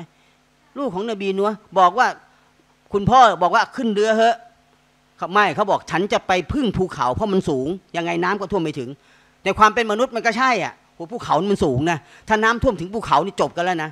แต่นบีนัวบอกว่าไง วันนี้ไม่มีใครรอดนอกจากไอ้คนที่อยู่บนเรือ หลังจากนั้นขึ้นมาจมน้ำตายไปเลย เนี่ยแล้วนบีนัวก็เสียใจไงแต่เราบอกเขาไม่ใช่ลูกของเจ้า เพราะอะไรเขาคือผู้ปฏิเสธอย่างนั้นเลยนะเพราะนั้นถึงบอกว่าคนที่ รอดก็คือคนที่ปฏิบัติตาม และนบีทุกคนปฏิและประกาศศาสนาหลักการเดียวกันทั้งหมด اعبدوا الله ما لكم من إله غيره พวกเจ้าทั้งหลายจงอิบาดะต่ออัลลอฮ์นะ พวกท่านจงอิบาดะต่ออัลลอฮ์นะไม่มีพระเจ้าอื่นใดนอกจากอัลลอฮ์อัลลอฮ์ที่เราเรียกว่าอัลลอฮ์แปลว่าพระเจ้าอัลลอฮ์คือคำภาษาอาหรับนะที่เราเรียกกันดังนั้นนี่คือพระเจ้าที่แท้จริง ศาสนาทูตทุกท่านทำหน้าที่เหมือนกันหมด พอมายุคเราเนี่ยلا إله إلا الله محمد رسول الله นี่คือประโยคที่เป็นของเรา แต่ว่าประโยคหลักเหมือนกันไหมลาอิลาฮะอิลลัลลอฮ์ถึงแม้ว่าคำพูดมันอาจจะต่างกัน แต่ในเนื้อความเนี่ยมันเหมือนกันทั้งหมด แปลว่าเรียกร้องสู่ใครหมดเลย สู่อัลลอฮ์สู่พระผู้เป็นเจ้าที่แท้จริงนะครับ วันนี้เนี่ยมันอาจจะยังไม่ได้เห็นผลอะไรมากมายนัก เพราะมันยังไม่ใช่วันพิพากษา มันยังไม่ใช่วันตัดสินนะครับ แต่ว่าวันนู้นวันอาคิร้อนหนุโลกหน้าหนุนวันเตียมาหนุนนั่นคือวันพิพากษา วันนี้เนี่ยใครจะเชื่อไม่เชื่อ ใครจะอะไรก็แล้วแต่ก็เรื่องของเขา ผมเคยเรียนกับทุกท่านไปแล้วว่า เราไม่ต้องไปทะเลาะกัน ไม่ต้องไปทะเลาะกับเขาไม่มีประโยชน์ คือเราดียังไงทำเราให้เต็มที่ มั่นใจยังไงทำให้เต็มที่ และที่สำคัญต้องอยู่ให้เป็น เพราะอิสลามห้ามเราประนามศาสนาอื่น เราก็ไม่ต้องด่าไม่ต้องว่า แต่เวลาผมสอนหนังสือผมก็จะบอกว่าอ่าในห้องเนี่ยมุสลิมทั้งหมดใช่ไหมอ่าถ้าอย่างนั้นเต็มที่นะอ่าเราจะได้เข้าใจว่าอิสลามดียังไง แต่ถ้าหากว่าออกสื่ออย่างนี้ เอาพอประมาณนะอ่านะเกรงใจอันทำดีละกุ๊บเขาอ่าเพราะนั้นเตาฮีตเนี่ยเตาฮีตความสำคัญอีกอย่างก็คือว่าเพราะเตาฮีตนี่แหละที่อัลลอฮ์ต้องส่งคัมภีร์เล่มต่าง ๆ มา ในคัมภีร์ทุกเล่มอย่างที่บอกศาสนาทูตเรียกร้องสู่อัลลอฮ์ คัมภีร์ทุกเล่ม เตารอดอินยินซาบูตอันกุรอานซูฮุฟทุกเล่มก็จะเป็นคัมภีร์ที่อัลลอฮ์ให้ผู้ปฏิบัติตามเนี่ยศรัทธาต่ออัลลอฮ์เพียงองค์เดียว ในอันกุรอานในอะไรก็แล้วแต่นะครับ ทุกเล่มจะเป็นแบบนี้ทั้งหมด และในขณะเดียวกันเนี่ยเตาฮีดก็เป็นเรื่องแรกที่เราจะต้องเอาไปใช้ในการด่าวะหมายความว่าถ้าเราจะเอาอิสลามไปให้ใครสักคนหนึ่งเนี่ยเรายังไม่ต้องเอาอย่างอื่นไปให้เขา ยังไม่ต้องเอาการนมาดไปให้เขา ยังไม่ต้องเอาการถือสินอดไปให้เขา ยังไม่ต้องไปบอกว่าเขาต้องบริจาคยัง สิ่งแรกที่เราจะต้องทำให้เขาหรือเอาไปให้เขาคืออะไร เตาฮีดตัวอย่างของท่านมูอาสบินจาบันท่านมูอาสบินจาบันเนี่ยท่านนบีส่งไปที่ประเทศเยเมน พอจะส่งไปเนี่ยท่านนบีกำชับท่านมูอาสบอกว่า อินนักะตักดิมุอาลาเกามินมินอัลลินกิตาบ ฟันยากุนเอาวะละมาตะดาอุฮุมอิไลฮิไอยูวะฮิดุลลอฮ์ท่านกำลังจะเดินทางไปยังกลุ่มชนที่เรียกว่าอาลุนกิตาบอาลุนกิตาบพวกไหนอะอาลุนกิตาบก็พวกยะฮูดนะซอรอ กิตาบเนี่ยแปลว่าคัมภีร์อาลุนกิตาบเนี่ยเป็นที่รู้กันว่าถ้าเขาใช้คำเหล่านี้คือพวกยะฮูดกับนาซอรอ ก็คือเตารอดกับอินยีนนั่นแหละนะครับ ทีนี้ความเชื่อของเขาเนี่ยเขาบอกแล้วว่าต้นทางเนี่ยถ้าเขายังอยู่ความเชื่อเดิมๆเขาเหมือนเรา แต่หลังๆมันไม่ใช่ เพราะอะไรเพราะนักบวชนักพจน์มันเปลี่ยน มันเปลี่ยนเงื่อนไข เปลี่ยนกติกา เปลี่ยนคัมภีร์ทำไมต้องเปลี่ยนอะอ่าเปลี่ยนเพื่อเอาผลประโยชน์เข้าตัว เพราะเมื่อกี้บอกแล้วว่า ถ้าเราระหว่างเรากับอัลลอฮ์ต้องผ่านใครไหมไม่ต้องผ่าน แต่ของเขาต้องผ่านหมดเลย ใช่ไหมต้องผ่านนักบวชต้องผ่านนักพจน์ของเขา เพราะถ้าไม่ผ่านพวกคุณไม่มีโอกาสได้เข้าสวรรค์นะ ถ้าคุณจะเข้าสวรรค์คุณต้องผ่านชั้น ก็แปลว่าคุณต้องทำตามนี้ตามนี้ตามนี้ตามนี้โอ้ถ้าเราอย่างนั้นแล้วก็ยุ่งเลยนะต้องผ่านอิหม่ามนะถึงจะได้เข้าสวรรค์นะต้องผ่านท่านครูนะ ยุ่งกันใหญ่เนาะท่านครูจะรอดหรือเปล่าดีกว่าผ่านท่านครูเดี๋ยวระวังเราจะเข้าสวรรค์อ้าวท่านทำไมท่านครูไปอยู่ในนู้นไปแล้วล่ะเราเนี่ยเข้าสวรรค์เห็นไหมล่ะนั้นถึงบอกว่าเราไม่ต้องผ่านใคร แต่ของของของของความเชื่ออื่นเขาต้องผ่าน แม้กระทั่งศาสนาบ้านเราเขาก็ต้องผ่านใช่ไหมเออ เขาไปเองไม่ได้นะมันก็เลยมีการมีการอะไร มีการได้รับผลประโยชน์กันตรงนี้ แต่อิสลามบอกไม่ต้อง อิสลามคุณหาเข้าเฝ้าอัลลอฮ์ได้เลย คุณอยากได้อะไรคุณขอต่ออัลลอฮ์ได้เลยนะไม่มีปัญหานะครับ ทีนี้สิ่งแรกเลยที่ท่านมูอาสบินจาบันได้รับคำสั่งจากท่านนาบี บอกท่านเนี่ยจะไปที่นี่นะ ยังไม่ต้องไปบอกให้เขานมาดยังไม่ต้องไปบอกให้เขาถือสินอดอย่างแรกเลยที่ท่านจะต้องไปเคลียร์กับเขาให้รู้เรื่องก่อน ก็คือไอยูวะฮิดูอัลลอฮ์ แปลว่าท่านจะต้องไปทำให้เขาให้เอกภาพต่ออัลลอฮ์ให้ได้ก่อน ถึงบอกไงว่า เวลาเรามีเพื่อน แล้วเราอยากให้เขามาเป็นมุสลิม ยังไม่ต้องไปบอกให้นมาดดีนะเว้ยลองดู ถึงอดดีไม่ต้องคุยเรื่องพระเจ้าก่อน ต้องคุยเรื่องความเชื่อก่อนว่า เขาเชื่ออะไรแล้วเราเชื่ออะไร และไอ้สิ่งที่เราเชื่อเนี่ย มันดีกว่าเขายังไง เคลียร์กันตรงนี้ให้ได้ แล้วค่อยเอาอย่างอื่นถ้าสมมุติว่า เขาอาจจะยังไม่ได้ยอมรับทัทีเดียว แต่ใจเริ่มมาเฮ้ย อยากลองคุมหัวบ้างอ่าใช่ไหมเพราะว่าผู้หญิงรักสวยรักงามไงพอเปิดหัวมามาอ่ายี่สิบสามสิบปีสาวว่าแบบเบื่อแล้วไงอยากคุมหัวบ้างพอเออเฮ้ยดูดีเว้ยอ่าเราให้กำลังใจเออดูดีอะเห็นปะล่ะเรียบร้อยด้วยดูดีด้วยอ่าไม่แน่ใช่ไหมอ๋อเป็นอิสลามนี่มันมันสวยอย่างนี้นี่เองแล้วก็นะก็อาจจะใช่ไหมบางคนก็มาเป็นมุสลิมก็ได้ แต่เวลามามานั่นแล้วปุ๊บเนี่ยบอกว่าไม่ไม่ใช่เอาสวยอย่างเดียวนะ เอาทำอย่างอื่นด้วยนะอิบาดาอย่างอื่นก็มีนะไม่ใช่วันๆแต่งตัวอย่างเดียวเลือกผ้าคุมผมอย่างเดียวเอาสีไหนเอาลายไหนเปิดมานี่มีแต่อันนี้อย่างเดียวเลย เอาอย่างอื่นด้วยนะอิบาดาเนี่ยมันมีหลายอย่างไอ้แต่งตัวก็ส่วนหนึ่งแหละนะแต่งตัวก็ส่วนหนึ่งเพราะว่าเขาบอกแต่งตัวต้องให้ดูดีใช่ไหมให้ดูภูมิฐานนะครับแล้วก็ให้มันถูกต้องตามหลักการศาสนา ทีนี้เรื่องแรกต้องเรื่องนี้แหละต้องเคลียร์เรื่องนี้ให้ได้ว่าอัลลอฮ์เป็นพระเจ้านะแล้วเดี๋ยวพอนั้นพอหลังจากนั้นปุ๊บเนี่ย ในฮะดิษบทเดียวกันนี่แหละนะครับนบีบอกว่าพอเขารู้จักอัลลอฮ์ยอมรับว่าเราเป็นพระเจ้าแล้ว ค่อยบอกว่าอัลลอฮ์ใช้ให้เขาคิดว่าเรื่องใดตามเรื่องอะไรต่อมาเอาให้ทาย เรื่องนมาดยังไม่เอาเรื่องอื่นนะ เอาเรื่องนมาดก่อน เพราะนมาดเนี่ยมันต้องรีบทำเหมือนกันวันนี้ใครมาเป็นมุสลิมปั๊บต้องรีบทำเรื่องนี้ก่อนเลย เรื่องอื่นเอาไว้ที่หลังได้ไม่เป็นไร แต่เรื่องนี้ต้องทำก่อน เพราะเรื่องนี้มันต้องทำทุกวันไง ใช่ไหมเรื่องนี้วันกับคืนห้าเวลาแล้วพลาดไม่ได้อย่างน้อยๆเขาละหมาดเวลานึงแล้วเขาตายเขามีโอกาสเข้าสวรรค์แล้วนะ แต่ถ้าเขาไม่ได้ละหมาดเลยมาเป็นมุสลิมเนี่ยอันนี้มันก็ก็เสี่ยงอยู่เหมือนกันเขาเสี่ยงอยู่ว่าว่ามันจะยังไง แต่แน่นอนว่าด้วยความเป็นผู้ศรัทธาเขาเนี่ยมีโอกาสเข้าสวรรค์แล้วเพราะอย่าลืมว่าไอ้ไอ้ไอ้ไอ้อะไรนะไอ้ความยิ่งใหญ่ของการให้เอกภาพต่อล้อมันคือเงื่อนไขเข้าสวรรค์ แต่ว่าไอ้ผลงานอื่นเนี่ยมันจะทำให้เขาเข้าสวรรค์ได้ง่ายขึ้น ซึ่งเรื่องหลักๆก็คือนมาดอันดับหนึ่งเลย บริจาคทีหลังถือสินอดทีหลังไอ้ไอ้คุมพิยาบอะไรกันทีหลังกันนะเอานมาดเนี่ยก่อนเลย ด้วยเหตุนี้ เวลารับอิสลามแล้วนะอัชดูอัชดูกันเรียบร้อยแล้วเนี่ยนะ ก็ต้องทำไมต่อล่ะ ก็ต้องเรียนเรื่องนมาดเลย พอเรียนเรื่องนมาดปุ๊บเรียนเสร็จปุ๊บต้องรีบทำให้ไวที่สุดเท่าที่เราจะทำได้ เราอาจจะอ่านไม่ได้ทั้งหมดไม่เป็นไรหนึ่งท่าทางมันต้องจำได้แล้วแหละหรืออาจจะอ่านด้วยการเปิดหนังสืออ่านก็ยังได้ เปิดหนังสืออ่านก็ได้นะ อย่างฟาติฮะห์อย่างเงี้ยนะไอคนที่มันอ่านไม่คล่องเปิดหนังสือมายืนอ่านเลยก็ได้เพียงแต่ว่าต้องเข้าสู่กระบวนการของการนมาด ตั้งเจตนาในการเข้าสู่การนมาดอัลลอฮฺอักบัดแล้วยกมาอ่านก็ไม่เป็นไร เพื่ออะไรเพื่อให้เขาสามารถอ่านได้และเคยชินกับการปฏิบัติก่อน เดี๋ยวพอหลังๆเนี่ยไม่มีปัญหาละเพราะส่วนใหญ่แล้วเนี่ยผมไม่ค่อยกลัวเท่าไหร่อ่ามุอัลลัฟหลายคนเนี่ยเวลาเขามาแล้วมาด้วยใจเขาจะแน่นมากกับไอของเรานี่แหละ ที่มันอยู่อะมันอยู่ด้วยใจหรือเปล่าไม่รู้นะหรือมันอยู่เพราะอะไรเพราะปู่ย่าตายายเขาให้มากูก็อยู่ตามเรื่อยมา มันก็เลยจ้องได้เรื่องบ้างไม่ได้เรื่องบ้างนมาดบ้างไม่นมาดบ้าง บางคนเนี่ยนะ อ่านกุรอานไม่คล่องไปแล้ว กับมุอัลลัฟหลายคน เป็นครูสอนด้วยซ้ำเอ้ามีนะหลายคนเนี่ยพอเขาอ่านคล่องๆเขามาเป็นครูสอนให้ให้คนอื่นเขาด้วยเห็นไหมเพราะฉะนั้นอย่าถึงบอกไงว่าเราเท่ากัน วันนี้มุสลิมเก่ามุสลิมใหม่ก็เท่ากันนะถ้าเป็นมุสลิมแปลว่าเท่ากันแล้ว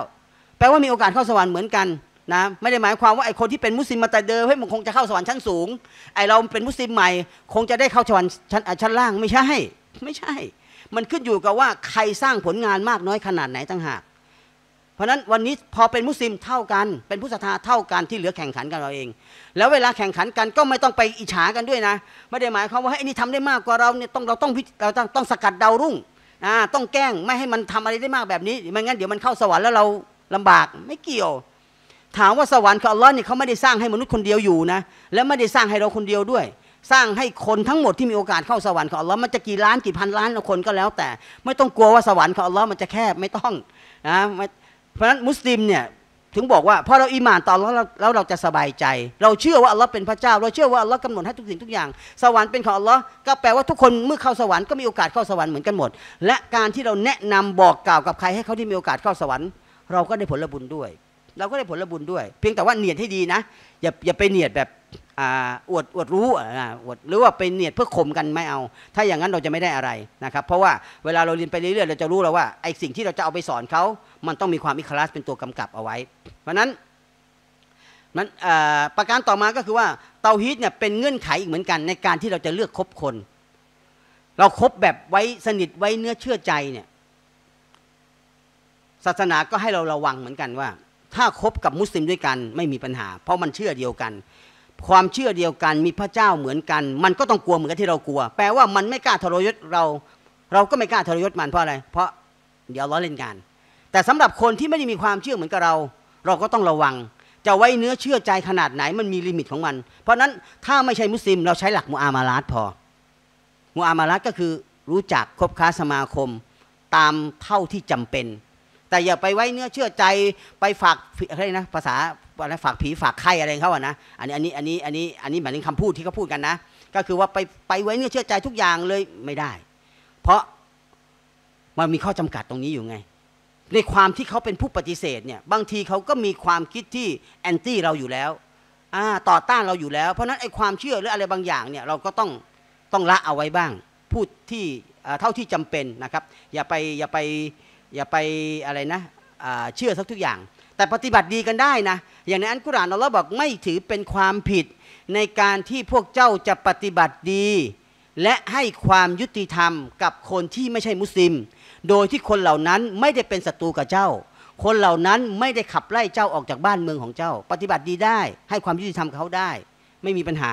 แต่ถ้าสนิทสนมชิดเชื้อเหมือนมุสลิมกับมุสลิม อันนี้เราต้องระวังนิดหนึ่ง นะเพราะศาสนาสอนให้เราเป็นคนที่เขาเรียกมีระยะห่างพอสมควรเหมือนกัน ไม่ได้หมายความว่าเฮ้ยเราไม่จริงใจเปล่า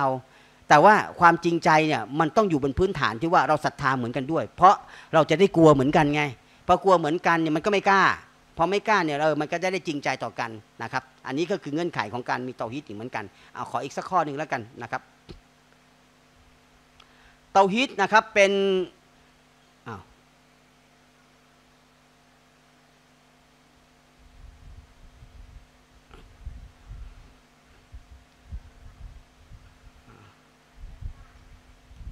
เตาฮีดเป็นเงื่อนไขในการที่จะทำให้อัลลอฮฺซุบฮานะฮูวาตาลาให้การช่วยเหลือกับเรา ใช่ไหมอย่าลืมว่าเวลาเราขอความช่วยเหลือจากอัลลอฮฺซุบฮานะฮูวาตาลาถ้าเรายังไม่ได้ศรัทธาต่ออัลลอฮ์เรายังไม่ได้ยอมรับว่าอัลลอฮ์เป็นพระเจ้า เรายังไม่ได้ให้ความยิ่งใหญ่กับอัลลอฮ์การช่วยเหลือไม่มีทางเกิดขึ้น แต่เราจะได้นะ ถึงแม้ว่าเราเป็นผู้ปฏิเสธ เราก็จะได้ตามอะไรตามเงื่อนไขที่อัลลอฮ์วางเอาไว้ เพราะต้องอย่าลืมว่าคนศรัทธาในดุนยานี้ เขาก็ได้ริสกี คนที่ปฏิเสธในดุนยานี้เขาก็ได้ริสกีใช่ไหมเพราะฉะนั้นผู้ศรัทธาหรือผู้ปฏิเสธอัลลอฮ์ให้เหมือนเหมือนกันอยู่แล้ว แต่ความพิเศษมันจะอยู่ที่ว่า ถ้าเราเป็นผู้ศรัทธาต่ออัลลอฮ์เราจะได้มากกว่านั้น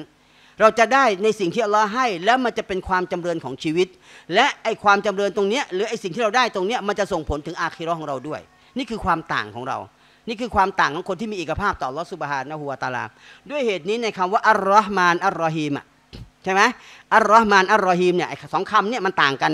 เราจะเห็นว่ามันมันอ่านก็ต่างกันไอ้ความต่างตรงเนี้ยมันมีมันมี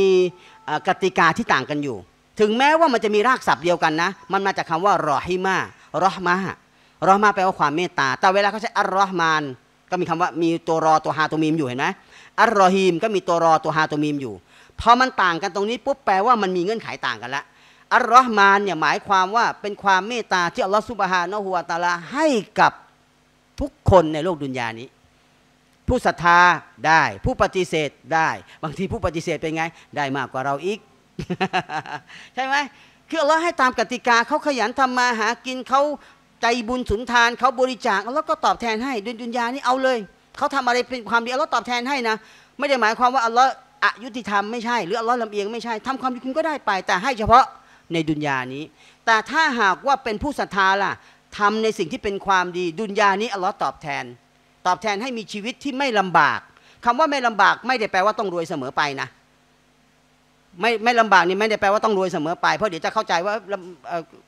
ไม่ลำบากคือต้องรวย ถามว่าคนรวยลำบากไหมในบางเรื่องอะเขาก็ลำบาก เขาไม่มาบอกกับเราแค่นั้นเองเราก็นึกว่าโอ้เขาบ้านหลังใหญ่โตคงอยู่สบายที่ไหนได้ล่ะไปเยี่ยมหมอทุกสัปดาห์สบายเหรอ